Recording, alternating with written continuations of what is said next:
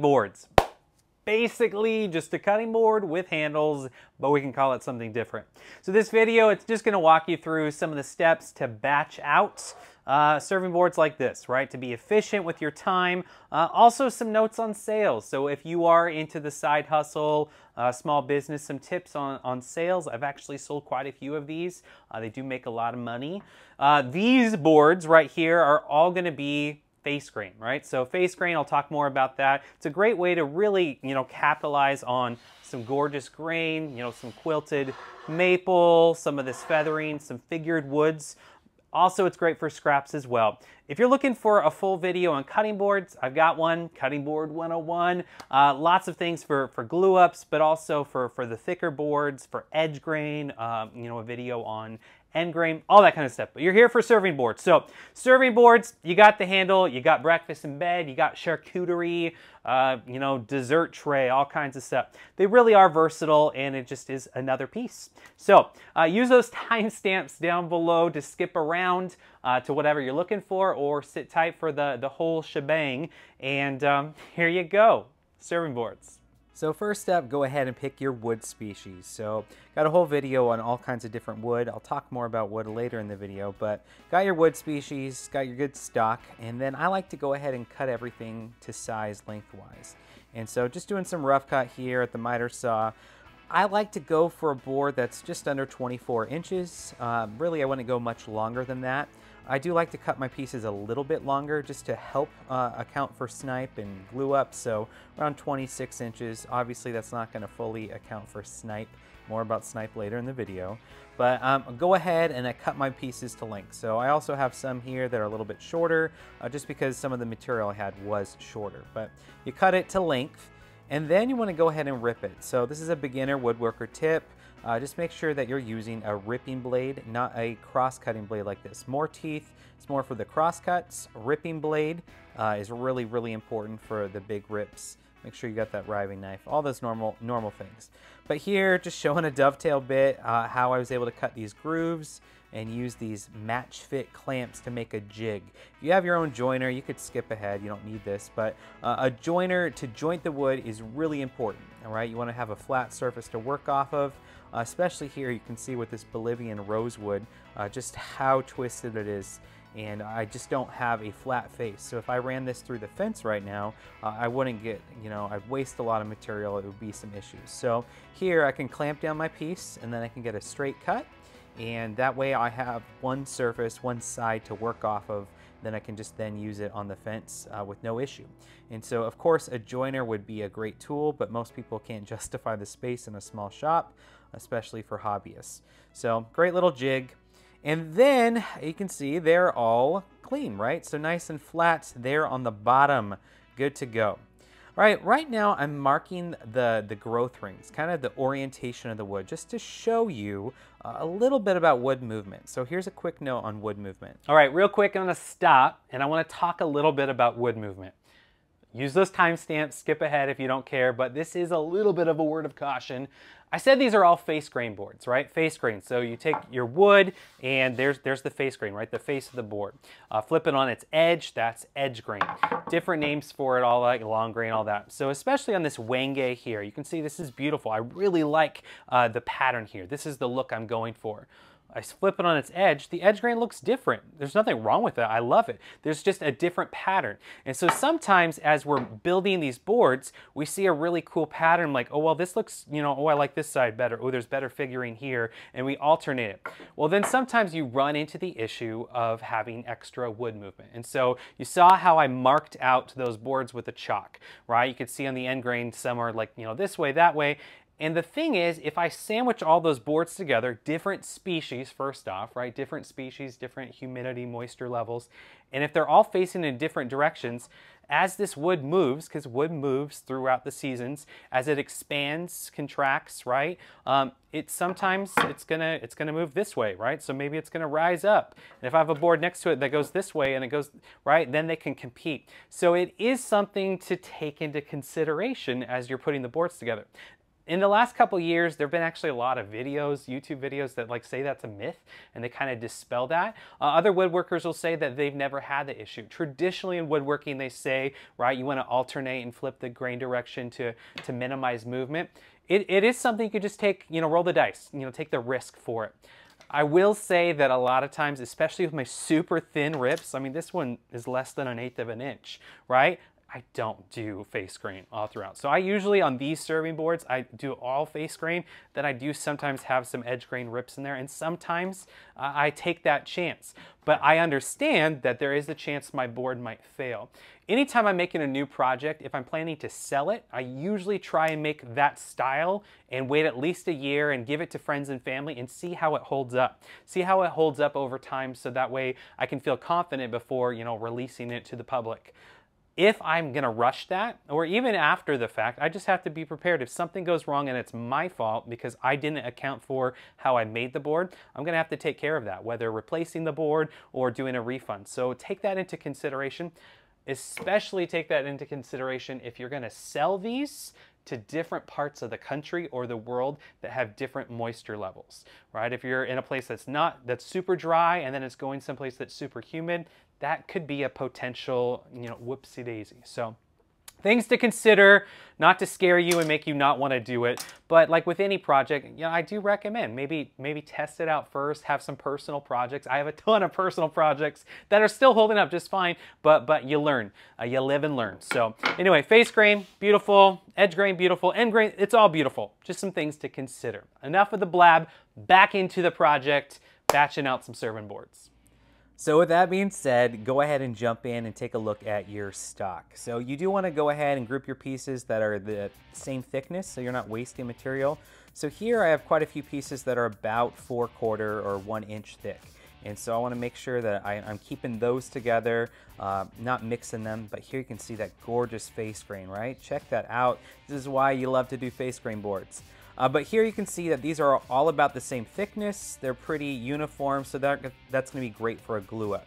Um, you know, a lot of times if you go to hardwood dealers, you're going to find wood that's that's a little bit thinner, uh, maybe 7 eighths of an inch uh, or 3 quarters of an inch sometime, especially those exotics. And so it would be a shame to just use that 3 quarter inch with a 1 inch. You're going to lose so much of that material.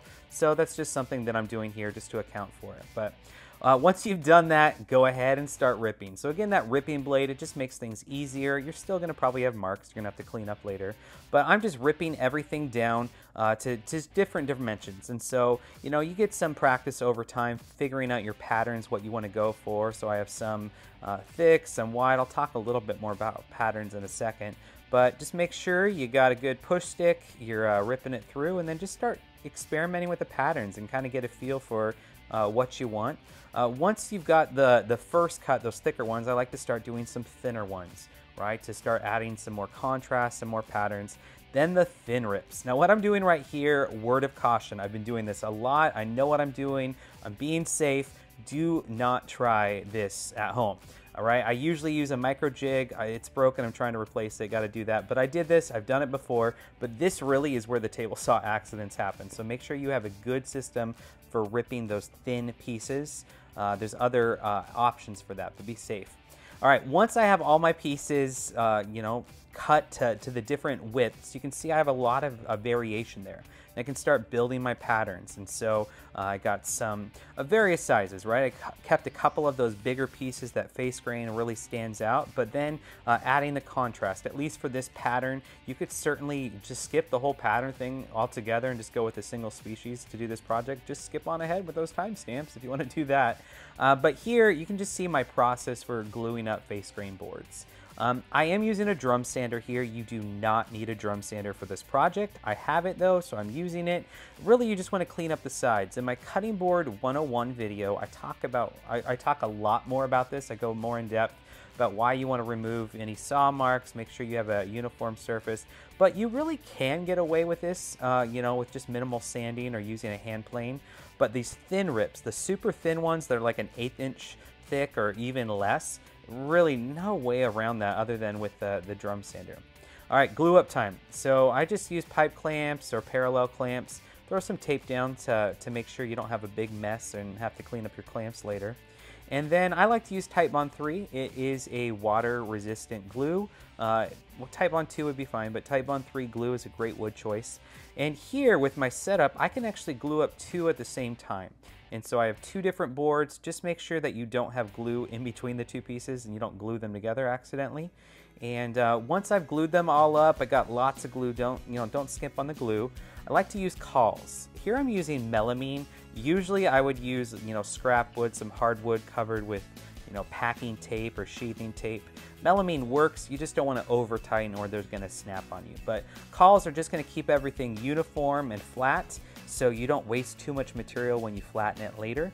Uh, make sure with clamps you have pressure on the top and bottom unless you're using parallel clamps. So you don't need to go overboard with the clamping pressure, just enough to get a good squeeze out. And so here you can see if you're getting the glue coming out down below, making sure it's everywhere you need, uh, but you don't need to kill it. You see those cauls underneath, it's keeping everything relatively flat. So uh, scrap wood, 2x4s, thin pieces, just covered in tape, that works great. All right, I am adding some CA glue. There's some Starbond CA glue and activator just to fill some knot holes. I'll talk a little bit more about this later in the video, uh, but just a quick little tip that happens. So after you glued it up, pull it out of the clamps, but then you got a mess. You got all of these glue dots that have hardened and you need to clean that up. So usually I like to leave uh, my board in there for, you know, at least four to six hours. Then I can scrape off those dots just with a paint scraper you get at Home Depot or a box store. And um, that way you have a surface that can run through the planer or for surfacing. But here you can get a feel uh, for how the pieces look, but they need to get flattened. So, um, you know, gorgeous, right? They're relatively flat. Those cauls really help uh, keep a, a, good glue up. But flattening options, you could just use a belt sander, and that's gonna take you some time. Uh, if you had a you know higher power orbital sander, you could do that as well. Those are two options for those who don't. You could uh, have the big tools. You could also do a router sled. There I pointed to my plunge router. Here I, have flattened boards before using a router sled. I have some other videos that talks more about that. But really the planer is the best option for flattening boards. You could use a drum sander, uh, but I really recommend the planer. It's great. I talk a little bit about the difference in those tools in, in another video, uh, drum sander versus planer. But the planer is great, and so I'm just sending these boards through, um, just taking small bites at a time to get it flat and get rid of all the glue, get it nice and flat. Uh, so because I scraped off the paint below, uh, I'm, I'm, not the paint, use the paint scraper to scrape off the glue dots. Uh, it can just run through nice and easy. Uh, you do want to account for snipe. Like I said, that cutting board 101 video goes a lot more in depth as far as snipe. What is snipe? It's when it dips into the wood and uh, kind of, you know, kind of ruins your board a little bit. Uh, but here, if I just have constant movement, constantly moving them through, uh, I don't get too much snipe uh, with this process. Uh, they're really clean, right? This is just coming out of the planer. Uh, really, really clean boards. They, they turned out rather nicely. Uh, but here you can see I did leave some of those ends on the end. Uh, that's just, you know, when it runs through the planer, the snipe's gonna go on the end, not my actual piece. All right, time to square off my boards. So uh, just using a miter gauge, I'm just gonna throw down some melamine scrap wood just to have a cleaner cut. You just wanna attach that to your miter gauge. But notice how it's backwards. So a backwards miter gauge is actually great. Uh, you don't have to use a crosscut sled or anything like that to, to move a bigger board, that wide piece, through the table saw to square it off. So there I'm able to square off one side, take a look at the other side, and kind of decide where do I want to cut it, how long do I want my final board. Maybe I had some snipe, uh, maybe I had some you know glue, uh, glue up mishaps. And so just go ahead and cut yours to, to final length there. You could certainly use a sled. Uh, just make sure you're using a gauge, a miter gauge or a sled of sorts. But there they are all squared up. They're looking nice. Some beautiful boards, some great patterns, uh, some great species. Time for the edge treatment. So I like to do a chamfer. Uh, chamfer, it's just a 45 degree bevel. You could do a round over. You could do whatever edge profile you'd like. Uh, but just a nice slight chamfer I think is a good look for these and that's usually what I go for. So just a simple simple router table here will, will do the trick and uh, can make quick work of it. You of course could use a trim router to add the profile here as well. And there you go. You can see that, that nice little modern vibes with uh, the chamfer. Uh, it's a nice, nice look, that, that chamfer. All right, so for the handle jig, uh, here I just have a piece that's one inch in, one inch in, and then it's just five inches wide. And then my handles that I go with have a three inch uh, spacing. You could definitely buy something like this. I know Kreg uh, makes their own, you know, cabinet drill bit jig, uh, but making your own is kind of fun too.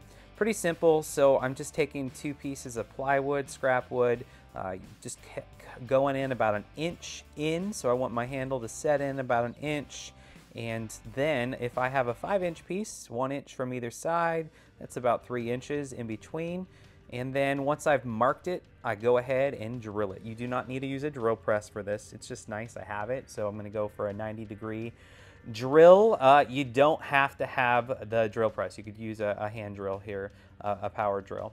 But I'm going ahead and I'm drilling the holes for uh, my alignment. Then I'm just using some CA glue. The CA glue is amazing, right? It's super glue. Use it to fill void holes, use it for jigs. So I add it, got a little spacer there to help with alignment. And then using the accelerator, the activator, it's gonna make that CA glue, that super glue, you know, glue almost instantaneously, uh, just a couple seconds. So align it quick, get it down, and uh, just add some pressure, and there you go. You got yourself uh, a jig that can work for alignment getting your holes just right for your handles on the serving board. So there, kind of works like so you get the feel for it. All right, I like to use the VIX bits here, uh, self-centering bit, uh, and I'm testing it out on plywood. Got to test it. I've done a couple of these where I messed it up, and then just verify, do your holes line up where you want it to? So make sure you test it on scrap wood before your actual piece. Uh, you might have to make it again. Uh, and then I'm just adding in a quick little screw here. The CA glue is great, but just for longevity, going to add a screw for some more strength. All right, wrapping it up with a jig. So you take your jig, place it down, whether you clamp it or hold it in place. Then I start, I do start with the VIX bit, that self-centering bit, so I don't lose the hole and, and, damage it. I've done it other ways where I went straight to the bit and it just didn't work out as well. So this really just gets you a little hole. then you go back with just a 1 8 inch drill bit and go all the way through. All right, so now I'm all the way through but I need to have a uh, countersink. I need to have a space uh, for the head of the screw to attach the handle. So pick whichever side you want. And then um, here I'm going with a 3 8 inch Forstner bit, just a little bit, just enough where it's going to cover that head. Uh, so the head of the screw is going to sit below the board and that way it sits flat on the table. So that's your last step here with a, a countersink bit. All right, so go ahead and take your jig and line it up. Center it on the board where you want the holes for the handles. And then using that self-centering bit, just go through to not damage the jig and you're getting that 1 8 inch uh, screw that comes through.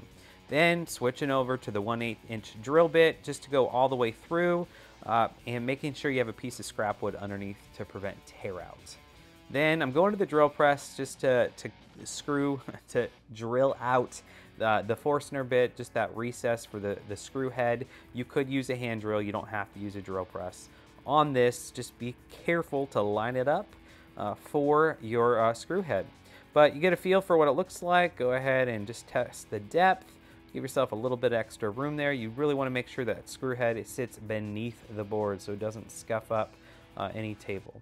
Again, I'm back with the CA glue. It just had some more voids, some more cracks uh, that showed up after surfacing. You want to do this before any of your final sanding. It really does sand out really quick. So Starbond, CA glue, great stuff. Activator. All right, for sanding, I like to do 80 grit, then 120, then 150, then I raise the grain and do 220. So with the random orbital sander, really I just do random orbit up until 80 and 120, and then around 120 I start hand sanding. So I'll hand sand at 120, uh, and then I will hand sand at 150.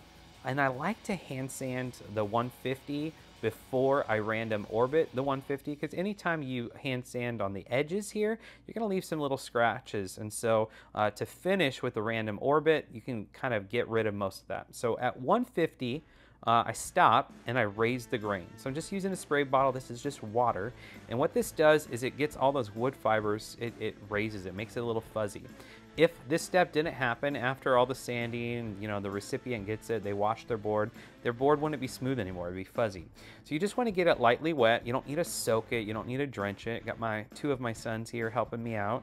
Uh, then you want to dry off most of that. It's, it's wet, it, it, got where the water needed to go, and then just set the boards out, let them dry slowly. Uh, don't speed up this process or your boards are going to warp on you, and that would be awful. So nice and slow, uh, relatively cool temperature. And then uh, after they're dried, uh, then go with the 220. So 220, uh, hand sanding, get all those edges nice and easy. Again, you're trying to maintain that profile you made. And after the 220 hand sanding, finish off with 220 with the random orbital sander. Uh, light pressure, don't go too hard or you're gonna have to do the whole thing all over again. And that would be a bummer as far as the grain raising. All right, wood finish. Uh, here I am using Odie's oil. I talk a lot about the different options. Again, that cutting board 101 video, it's just a lot more in depth. Um, but here, Odie's oil is a great option because uh, it's similar to the mineral oil board wax option, but it's not going to, you know, leak out oil for days, and it's it's going to be a pretty quick, uh, pretty quick process. And so, um, it you let it saturate it, let it sit for you know an hour or so, depending on what you want, just not longer than 12 hours. And then you got to buff it in. So what's most important with Odie's oil or with other hard waxes, you got to buff it. You got to buff it in uh, using a buffer here, pretty inexpensive, and it really helps and it's a superior finish and you can already feel how great it is, great protection. And then for maintenance, uh, you know, the recipient can use normal board wax or mineral oil if they want, like they would with a cutting board. But it's a great option, plenty of other options. But here you get a feel for what the boards look like. Don't worry, beauty shots out in uh, natural light are, are coming. All right, screw heads. So the screws that come with my handles, I'm not a fan of. They, they strip uh, the head strips a lot. Uh, they're also not stainless, so I do buy some stainless screws that are about the same size. Uh, you know, the heads seem to last a little bit better. But with whatever screws you have, depending on the thickness of your board, you might need to shorten the screw. And so one option is just using a sander uh, with some vice grips here. Uh, you can just shorten them. Just be careful, it can overheat. You can snap a screw, but this has really helped me get that perfect tight fit on boards before. So that's something to consider uh, if you're having some issues with the length of your screws based on your, uh, your thickness of your board. All right, so attaching the handles, plenty of ways. I like using the, the vise in my bench uh, other ways, but I do recommend clamping, uh, clamping your handle in place and then just really carefully uh, screwing in uh, the screws attaching to the handles. Taking your time, uh, you can use a power drill, just take it nice and easy, nice and easy. You don't want to strip those heads and you want to make sure you have the alignment just so. With this, um, you know, I did use that 1 8 inch drill bit and these screws are a little bit wider, so you know, got to take a little bit easier, but it works most important with the screws is making sure they get all the way in, got a nice tight handle, right? There's no gaps, it's gonna stay there. And then you wanna make sure that screw head is sitting below so it doesn't scratch up the table. I don't like to cover these with epoxy or fill them, that way they can be swapped out by the recipient uh, down the road. Uh, just gives more options. All right, here are the boards. Beautiful gorgeous. Uh, the wood selection really makes a difference. So definitely consider that. Um, some more on the wood selection at the end of the video. So stay tuned for that. All right, those were some beautiful boards. Before we wrap it up, before we get to the end, at the end I am gonna talk about some wood selection, wood species, lots of other notes, so make sure you stick around for that. Use the timestamps if you just wanna skip ahead, but I wanna talk about sales. Uh, so if you are not in the side hustle or a, or a small business, if you don't care about sales, go ahead and just skip uh, on to, to the ending. But I want to talk about pricing. And I, like I said, I've sold quite a few of these boards. So they're beautiful, right? And so especially if I'm using uh, nice exotic hardwoods, right? This has black limba, padauk, it's got all kinds of really, really choice woods. I could sell it for 150 bucks, right, for this board. Um, now, granted, where I'm at, my region, I've built my, you know, base for a long time. I got, you know, a bigger social media presence. So there's other variables in why I'm able to sell these for a little bit more. But I've actually sold a ton of these. I've sold quite a few. You can check my website to see some other ones kind of in that, you know, 120 to 160 range, especially with these really, really nice woods. Now, where you're at, probably not going to be able to sell it for that price right off the get-go. And so you might have to work your way up. And so one thing I want to point out is while I love these serving boards, this whole video is about serving boards. It's a great project. What I did when I made this batch, they're also a little bulky with these handles for storage because sometimes I just want to hold on to have some inventory, is I took one of the pieces and here it's about, you know, the size is a little bit smaller and instead of making this into one serving board that I could sell for, for 150, I'm gonna actually cut this into three different pieces. So right here, the width, it's about 12 inches wide. I'm gonna go, you know, seven-ish inches, and I'm gonna have three smaller cutting boards. Now take a look at this picture. Here you can see, here are some of these small boards that have a unique triangular handle grip, right? So I have a whole video on this, whole video on how to make this grip a cool jig, repeatable, but that's a smaller board. And that smaller board, especially for those of you who are starting out and maybe don't have, you know, as big a client base or, you know, as many, you know, people with eyes on your products, that's a board you could sell for 60 to 80 bucks. Most people who buy my boards, the ones they use the most are the small ones, your everyday board. And so those are also an entry purchase for, for a lot of people who want to support you, support what you're doing, but they don't want to shell out $150 for all the different reasons. Again, there's a lot of pricing reasons why I sell mine for, for what I do. But, you know, taking that same piece, I could sell, you know, three boards at let's say let's say I just do 60 bucks. That's $180 right? Already it's a little bit more. Granted it's a little bit more sanding and using the jig it's a little bit more work but material wise it's about the same. And if you're someone who's like yeah I don't know that I can sell them for that much you know maybe I could sell this for 80 you know if I'm lucky or 100 um, then maybe you do some don't go all in but I do love these. That's not to say, you know, this whole video is about the serving board. Now I say don't make them to sell. I love them. They're a great project. But as far as sales, um, if you're struggling to find those, those higher end clients uh, or people to purchase, maybe set aside a couple and make some smaller boards. Just having a good mix uh, to diversify. Anyway, great boards, sales tips. Gonna have some more sales tips in coming videos, um, some other products that sell, uh, so stay tuned for that. But yes, sales. Well, there you have it, serving boards. This is really what I do the most of, most of these types of projects. And so if you found value with this video and want to see more content like this, please consider subscribing to see more like so. Uh, be sure to check those links uh, down below or just check the channel for some other videos uh, using traditional tools uh, to make some awesome projects. Uh, if you're curious about the woods I use and you want to know more about these different wood species, be sure to check out that Wood 101 video. You know, use those timestamps to jump around just to see the different types of woods uh, that I use, these ones in particular, um, some considerations with using them, as well as where to find them. Some, some great resources there to check out. But uh, serving boards, got some more content like this with just traditional tools. As you can see over here, I do have a CNC. This is newer to me, and I've just been experimenting with all kinds of projects. And so yes, you got, you know, batching projects, but then other projects. Going to start doing some more hardwoods here and lots of possibilities here. So uh, even if you're not into the CNC thing and you're skeptical, I was myself, uh, maybe I'll give you some ideas, maybe change your mind, or maybe you're already in the CNC game and you get some ideas there as well. But it's not just CNC, it's kind of a mix of it all, uh, but mostly I do like to work with the hardwoods and use traditional tools. Blab, blab, blab. Thanks for sticking around. We'll catch you next time. Appreciate it.